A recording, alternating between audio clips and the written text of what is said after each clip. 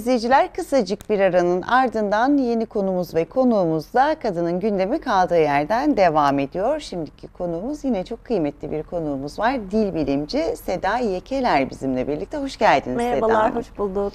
Evet, e, bugün dil eğitimini konuşacağız. İşte kaç yaşında başlanmalı, her yaşta öğrenilebiliyor mu? E, Türkiye'de kolay öğrenebiliyor muyuz? E, yeterli düzeyde eğitim veriliyor mu? Sırf bunların hepsini konuşacağız ama e, mesela ben şimdi hiç yabancı dil bilmiyorum diyelim. E, ben bu yaşta kolay öğrenebilir miyim? Artık yoksa benim için çok geçmiş midir? Yaşla alakası var mı? Yoksa benim yeteneklerimle alakalı bir durum mu? Ne dersiniz? Ee, öncelikle biz e, 15 yıldır bir dil edindirme metodu üzerinde çalışıyoruz. Bunu e, her programda, e, gittiğim bütün seminerlerde, konferanslarda üstüne basa basa söylüyorum. E, biz Türkiye'de dil öğretmeye çalıştığımız için konuşamıyoruz. O yüzden dil edindirme metodu üzerinde çalışıyoruz dedim. Dolayısıyla e, benim mottom 15 yıldır özellikle şu, dil öğrenilecek bir ders değildir, dil edinilecek bir şeydir. Dolayısıyla doğru edinme tarzını yakalarsanız e, dil edinmenin bizim metodumuzla yaşla ve yetenekle alakası olmadığı yaptığımız bilimsel ve dil bilimsel deneylerde de kanıtlanmış. Dolayısıyla ee, yaşın e, hiçbir önemi yok çünkü beynimizde biz bu konuda ciddi beyin çalışmaları yaptık. Hücre e, yenilenmemeye 60 yaşından sonra başlıyor ki 60 yaşından sonra bile yeni dil e, öğrenenleri bu metodla denedik. Dolayısıyla ilk söylemem ve vurgulamam gereken şey dil edinilecek bir unsur olduğu zaman evet yaşınızda bir şey yok ama hani çocuklara kıyasladığımızda bu yaşta Evet. da dil edinebilirsiniz. Doğru, haklısınız. Ama şey tabii çocuklar daha kolay öğreniyorlar değil mi? Orası da bir Evet gerçek. ama şöyle bizim hayat sorumluluklarımız çok fazla. Beynimiz çok Evet. fazla şeyle dolu olduğu için aslında biz geç öğrendiğimizi düşünüyoruz. Yoksa beynimizin öğrenme kapasitesinin azaldığından değil tam tersine yaş ilerledikçe çok daha fazla uyarana maruz kaldığımız için eğer e, geceleri uyurken özellikle beynimizdeki o dosyalama sistemini doğru yapabilirsek yaş ilerledikçe yetişkinlerin daha iyi dil öğrendiğine dair de metotlar var. Çocukların beyni şu anda sadece işte belli sorumluluklarla dolu olduğu için aslında daha kolay. Doğru. Peki o- zaman e, çocukların üzerinden gi- gidecek olursak e, en doğru dil eğitimi çocuklara nasıl verilmeli? Yani ne yapılmalı işte? Evde mi bir şeyler yapılmalı? Nedir bunun metodu? En iyi nasıl öğrenecekler? Şöyle tabii yaş grubunu ayıralım isterseniz. Bir kere Türkiye'de 0-6 yaş okul öncesi dönem olarak geçiyor ve e, daha çok e, yakın geçmişte okul öncesi döneme Türk Milli Eğitim Sistemi e, gerçekten önem vermeye başladı ve Evet. anaokulları da aslında zorunlu hale getirdi. Ondan önce e, kendi çocukluk yıllarımıza dönelim. Çocuklar ya anneanneyle ya babaanneyle ya da çalışanlar için e, eğitim düzeyi hem e, akademik eğitim olarak hem kültürel eğitim olarak çok daha düşük e, bakıcı dediğimiz e, kişilerle evde kalmak zorunda kalıyordu. E, O dönemde yetişen çocuklara ile şimdi okul öncesi dönemde yani illa özel okulun ana sınıfına gitmesine de gerek yok. E, Devletin sağladığı imkanlarla anaokullarına, okul öncesi gidenlere baktığımızda çok ciddi bir gelişim görüyoruz. O yüzden ben 0-6 yaşın dil edinimine çok önem veriyorum. 0-6 yaşta e, tabii ki çocuğunu okul öncesi e, işte kreşlere, özel okullara gönderemeyenler de olacak. Evde vakit geçiriliyorsa çocuğun çok fazla farklı uyarana maruz kalması gerekiyor. Ben e, 12 yaşında bir evlat sahibiyim ve e, çocuk 3 günlüktü. Ben ona Fransızca MP3'ler dinletiyordum. Herkes bana ailedeki e, kişiler de dahil deli diyordu ama e, beynimizde dil edinme bölgemiz olan Broca bölgesi ve daha sonra bu edindiğimiz e, dışarıdan aldığımız bütün dış sesleri anlamlandırıp konuşmaya döken Wernicke bölgesi en fazla 0-6 yaş arası gelişiyor. Dolayısıyla çocuğunuzu okul öncesi bir sisteme gönderemiyorsanız bile evde sabah akşam hepimizin imkanı var. En azından internet üzerine uydudan bir yabancı kanal açık olursa başka bir odada bir odada İngilizceyi açın sabah akşam. Söylediğim şey gerçekten çok e, Zor hani şey zor değil bir şey tabii değil. evet. Ama çok sabır isteyen bir şey. Ben çocuğuma 3 yıl boyunca aralıksız dinlettim. Kendi dilimizi de e, biliyorsunuz 2 yıl etrafı dinliyoruz. E, Evet. Kimse bize ders gibi öğretmiyor işte worksheetlerle ya da kitaplarla. 2 yıl dinleyip gözlemleyip sonra konuşuyoruz. Hatta e, işte sadece bakıcıyla vakit geçiren çocukla e, sürekli dışarı çıkıp gelen okula giden çocuğun Türkçesi arasında bile ciddi fark vardır kelime hazinesi açısından. O yüzden 0-6 yaş çocuğunuz evdeyse bir odada Fransızca sabah akşam konuşsun. Bir odada İngilizce 3 sene bekleyin. E, sonuçlara inanamayacaksınız. E, çocuğunu okul öncesi eğitime gönderenler için de şöyle bir istatistik var elimde aslında. Ee, bizim çocuk anaokulunda işte bir hoca vardı İngilizce konuşuyordu, diğeri Türkçe çok iyi öğrendi ama ilkokula geldi unuttu, konuşamıyor. Ortaokula liseye geçince sistem tamamen test çözmeye ve Evet. sınavlara yönelik oluyor. Bu sefer de okul öncesi öğretilenler unutuluyor. Dolayısıyla çocuklarını okul öncesi sistemlere gönderenlere sesleniyorum. Lütfen e, o bebeklik yaşlarında, okul öncesi döneminde verdiğiniz önemi ilerleyen yaşlarda da verin ki sonra bize işte belli bir yaşta gelip e, hayatın en büyük pişmanlığı yabancı dil konuşamamak olmasın. Tabii sonra size o yaşta Evet. başvurmayalım değil mi? Evet.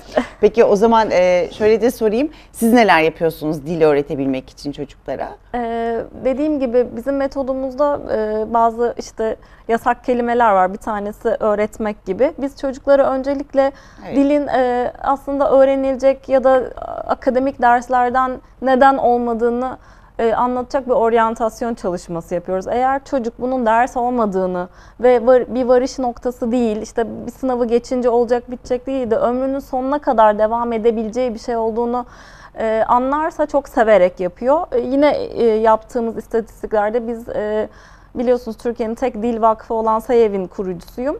E, çok fazla e, şehir ve özellikle şehirlerdeki imkanı çok e, olamayan okulları dolaşıyoruz. Burada gördüğüm en önemli sorunlardan bir tanesi neden sevmiyorsunuz yabancı dili ya da bakın size işte yabancı dil gönüllü olarak öğreteceğiz de, kimler istiyor dediğinde çok az el kalkıyor. Neden sevmiyorsunuz, niye istemiyorsunuz dediğinde birinci şikayet ama biz anlamıyoruz ki. Ya da çoğu yani 60 kişi varsa sınıfta 40'ı açıkça söylüyor e, anket yaptırıyoruz sevmediğini. E, önce sevdiriyoruz aslında. E, bir işi sevdiğiniz anda zaten e, başarı kaçınılmaz oluyor küçük yaş gruplarında. İkincisi ben e, Amerika'yı yeniden keşfetmedim. Sadece bir dil bilimci olarak bunu ben söylemiyorum. Kime sorarsanız sorun Türkiye'de bu işle e, akademik olarak uğraşan herkes aynı şeyden şikayetçi. Çok fazla gramer, çok fazla dil bilgisi öğretiyoruz ama konuşamıyoruz diye. E, tabii ki doğal olarak bizim metodumuzda da biz yaşayarak öğretiyoruz ve SEYAV olarak dil kasabaları kuruyoruz ve dilin e, bir sınıfta yani sırada oturarak ve e, şimdiki sınavlarda testle soruyorlar hala. Testle sorulmasına da karşıyız. O, o yüzden bizim e, sistemimiz aslında bu dil kursu, dil merkezi falan da değil, yaşam okulu olarak geçiyor. Evet. Dil yaşamın içinde bir şey. Bunu gösterip böyle bir yaşayarak öğretme sistemiyle edindiriyoruz. Evet. Aslında şey yani hani o jenerasyonun çocukları olarak özellikle biz o tenslerden falan o kadar sıkılmıştık ki o tensleri ezberleyip öğrenmekten Evet, gerçekten hepimiz kesinlikle. yabancı dilden e, nefret eder Soğuttular. hale gelmiştik. Bir de evet. bizim anne babalarımız Mr. and Mrs. Brown vardır meşhur hatırlar Evet, mısınız tabii bilmiyorum. Onlarla daha e, da soğumuş durumdalar.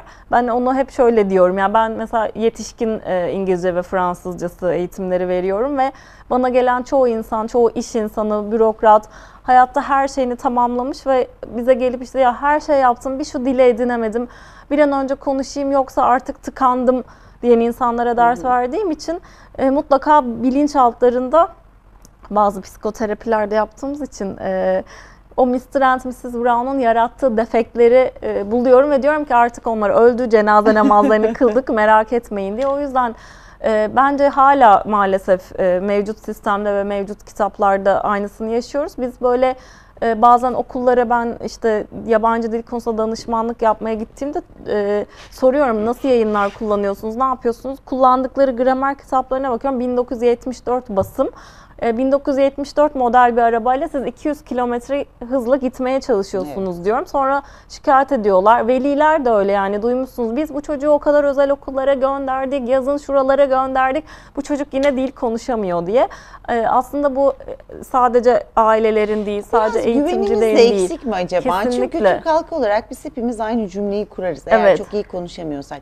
Anlıyorum ama, Ama- cevap veremiyorum. Evet anlıyorum ama konuşamıyorum. Klasik. e, aslında şöyle, ben ona iki açıdan yaklaşayım isterseniz. Bilimsel açıdan baktığımızda o bahsettiğim beynimizin sol yarım küresindeki Broca yani dil e, edinme bölgesi aslında bütün duyduğunu yani biz gün içinde de bilinç altında milyonlarca şey görüyoruz, duyuyoruz. Bir yere kaydediyoruz bilinç dışı da. E, dil edinirken ya da dil işte kitaplarından öğrenirken ya da yabancılara maruz kaldığı duyarken de milyonlarca şey Broca'ya kaydediliyor. Sorun Broca'dan Wernicke bölgesine çıkıp konuşmaya dönüşmesi. O ikisi arasında e, bilim dünyasının George Washington Köprüsü diye adlandırdığı 250 milyon nöronun gidip geldiği bir e, bölge var köprü diyorum ben ona aslında. Eğer o köprüyü aktive edemezseniz evet çok iyi anlıyorsunuz. Broka'da her şey var anlamanız gereken.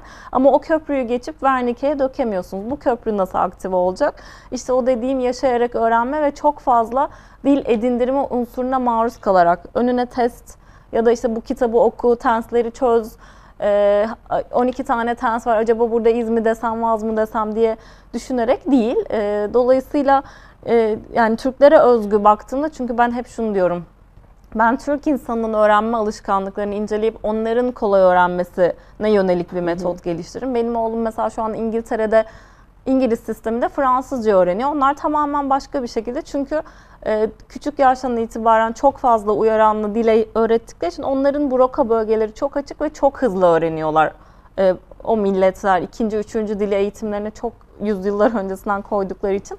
Ee, biz Türk insanı olarak anlıyoruz ama konuşamıyoruz. Çünkü konuşmaya giden bölgemizi aktive edecek dinlemeler, işte maruz kalma e, sistemlerine giremiyoruz aslında. Evet. Peki e, kendi ana dilimizin dışında başka bir dil öğrenip konuştuktan sonra e, işte ikinci, üçüncü, dördüncü dili eklemek, konuşabilmek daha mı kolaydır? Ee, şöyle e, bir kere e, Broca bölgenizi nasıl aktive edeceğinizi öğrenirseniz ben Hı-hı. hep özellikle genç yaşta olanlara yani zaman açısından diyorum gençseniz sorumluluğunuz daha azdır.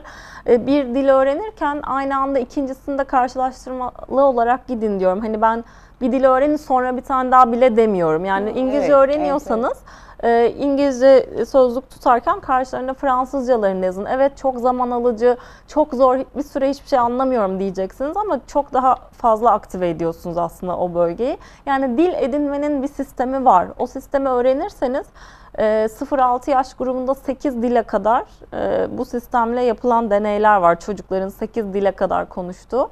Hani anne babası illa biri şu memlekette biri şu memlekette olmadan yetişkinlerde de yani özellikle 40-60 yaş arası bu sistemle yaklaşık bir herhalde 3000 küsur e, deney okumuşumdur bir dili öğrenirken aynı anda diğer dilinde kolay öğrenildiği bu sistemle kanıtlanmış aslında. Hala geç kalmış evet, sayılmam tabii o zaman.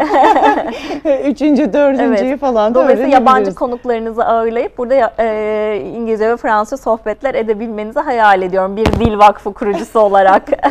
İngilizce şu anda da edebilsek de tabii Fransızca falan evet. mümkün değil. Çok doğru.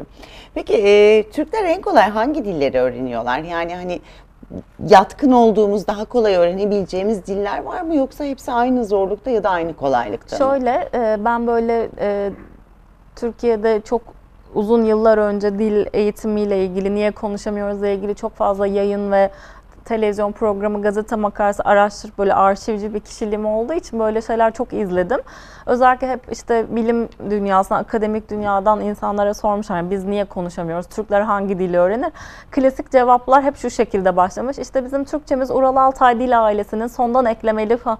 Böyle ya böyle anlattığınız zaman artık hele ki yeni nesile bu işlemiyor. Evet. Yani biz işte Türkçemiz sondan eklemeli olduğu için o zaman beyin ne yapıyor? Ha biz madem yüklemi buradan sona koyuyoruz. Ekleri de kelimenin sonuna ekliyoruz. O zaman şu eki şöyle mi yapacağım derken yarım saat geçiyor hala konuşamıyorsunuz. Ee, Türkler e, en kolay şu dili öğrenebilir diye bir şey yok. Biz Türklere başka bir dil edinmenin e, bir dersle, kitaplarla belli bir e, sistem dahilinde olmaması gerektiğini ve e, alfabesi bizden tamamen farklı olan e, Mandarin ve e, Rus alfabesi gibi alfabeler dışındaki bütün Avrupa hı hı. dillerini çok rahat öğrenebileceklerini aslında e, söylemeliyiz. Çünkü mesela Mandarin'de e, beynin dil edinirken şekiller barındırdığı için alfabe sol ve sağ yarım küresini kullanmak zorunda olduğunuz için en zor dil o olarak geçiyor dünyada. Ee, Rus alfabesi de ona benzer biraz daha az zorlukta aslında ama onun dışındaki bütün Avrupa dillerini dillerini e, Türkler çok rahat öğrenebilir. Eğer dilin edinilecek bir unsur olduğunu önce kendilerine kabul edip bu şekilde devam ederlerse. Evet kesinlikle zaten e, öğrenilmesi gereken bir şey artık hayatımızın her yerinde. Evet. Çünkü hani yurt dışına çıkıp çıkmamamızla da ilgili değil. Artık sadece İngilizce de yeterli değil. Özellikle yeni nesil için. Hani İngilizce Kesinlikle. zaten Türkçenin yanında olması gerekiyor artık. Bundan Kesinlikle. sonra onun dışında başka şeyler olması gerekiyor. Peki e, dil eğitimi için yurt dışına gitmek de gerekli midir? Ya da e, daha çabuk kavrayabilmemiz açısından da önemli midir? Kesinlikle e, ben hep yani dili bazı kavramlardan ayırt etmemesi gerektiğini insana savunuyorum. Dil eşittir kültürdür. Bir dili edinmeye başladığınız zaman o edindiğiniz dilin konuşulduğu ülkelerin kültüründen kendinizi soyutlayamazsınız. Ama o kültürü de e, kendi ülkenizde e, bir şeyler dinlerken, yazarken edinmeniz mümkün değil. Yani ben e, 17 yaşına kadar Mersin'in Anamur ilçesinde o zamanki şartlar çok daha sınırlıydı. İşte bir kitapçı bile yoktu. Hani yabancı bir kitap alacağım ya da bir sinema yoktu. İnternet yoktu her şeyden önce. Bir şeylere işte yabancı maruz kalıp dinleyemiyordum. 17 yaşına kadar hiçbir yabancı ülkeye gitmeden bir dili kendi kendime öğretmenlerin de desteğiyle e, edindim. Dolayısıyla e, o ilk yurt dışı deneyimi 17 yaşında ve ikinci dilim Fransızca için yaptığımda e, o ülkede yaşamanın, o ülkenin kültürünü alabilmek için ne kadar önemli olduğunu orada gördüm. İmkanınız varsa dili öğrenmek için illa oraya gidin demiyorum. E, dili her yerde eğer istekli bir dil ediniciyseniz öğrenirsiniz. Ama kültürü öğrenmenin tek yolu bir süre orada yaşamak ve görmek aslında. Ama yine internet çağındayız. E, Gidemesek de orada yaşıyormuş kadar e, çok önerdiğim mesela işte e, özellikle YouTube kanalımda da söylediğim dil edindirici diziler var. Onları bile izleseniz en azından bir kısmını o kültürün alıyorsunuz. Ama imkanı olan herkes bütün imkanı yurt dışında değerlendirmeli tabii ki. Evet tabii YouTube kanalınızı izlemek de bir seçenek aslında. Evet. Ee, peki tabii kendi başımıza, kendi kendimize peki e, kendi mücadelemizle öğrenebilmek mümkün mü? Çünkü bir taraftan da gerçekten çok yüksek ücretler ödediğimiz İngilizce kursları da var. Kesinlikle. Şöyle, e, ben e, katılımcılar bize başvurduğunda öncelikle bir dil analizi yapıyorum. Bu dil analizinin e, bir buçuk saatlik süren bir e, analiz, bir buçuk saatlik bir analiz. E, 40 dakikası tamamen Türkçe. Önce bir Türkçenizi analiz ediyorum. E, çünkü bir insan kendi dilinde kendini ne kadar ifade edebiliyorsa, yani ne kadar fazla kelimeyle, ne kadar zengin düşünme yapısıyla ifade ediyorsa, öğreneceği dilde de o kadar olacak. Yani siz Türkçenizde bir saat içinde sadece 40 kelime konuşabiliyorsanız bana gelip benim 3 ay içerisinde acil TOEFL'ı geçmem lazım deseniz de bu olmaz. Çünkü siz zaten 40 kelimelik düşünüp konuşabiliyorsunuz. Ben size 4500 TOEFL kelimesi de yüklesem Evet. bu olmayacak. O yüzden bireysel öğrenme e, hedefiniz ne? Önce onu kendinize çok iyi itiraf etmeniz lazım. Sizin bir işte ben kendim çalışacağım ama akademik bir sınavı geçeceğim diye hedefiniz varsa bu iş e, olmuyor tek başına. Araba kullanmayı öğrenmek gibi tekniği var. İlla birinin öğretmesi lazım. O yüzden bir sınav hede- hedefiniz varsa, sınav hedefi olanlar için evet bireysel öğrenme çok işe yaramıyor. Ama bu benim işte hobim, e, ben buna ilgi duyuyorum sadece konuşmak için bunu yapacağım derseniz e, yine o çocuklar için söylediğim metot e, bazı çok temel e, İngilizceyi mesela özellikle öğreten diziler var. E, Onları izleyerek evet ilk izlediğinizde anlamıyorsunuz. İki ama şunu mesela özellikle vurguluyorum. Bir cümle yedi kez üst üste duyulduğu zaman o dilde beyin onu kısa hafızadan uzun dönemli hafızaya zaten atıyor. Yani 25-30 dakikalık yabancı dizi ve kesinlikle altyazısız bu çok önemli. Ee, 7 kere dinlediğinizde zaten o cümleyi e, beyin hafızanıza atmış oluyor. Bol bol e, izleyin eğer hobi olarak edinecekseniz ama bir yandan izleyip bir yandan sözlük bakıp bir yandan bir işte kaç model e, gramer kitabıyla uğraşıp bu işler o e, karıştığı için olmuyor. Evet. Peki süremizin de Evet. sonuna geldik. Ben çok teşekkür ediyorum Teşekkür size ederim, geldiğiniz sağ olun. için. Çok keyifliydi. Sağ olun. Evet sevgili izleyiciler, Kadının Gündemi'nin bugün de sonuna geldik. Biz yarın aynı saatlerde yine burada olacağız. Siz de gelirseniz seviniriz. Görüşmek üzere, hoşçakalın.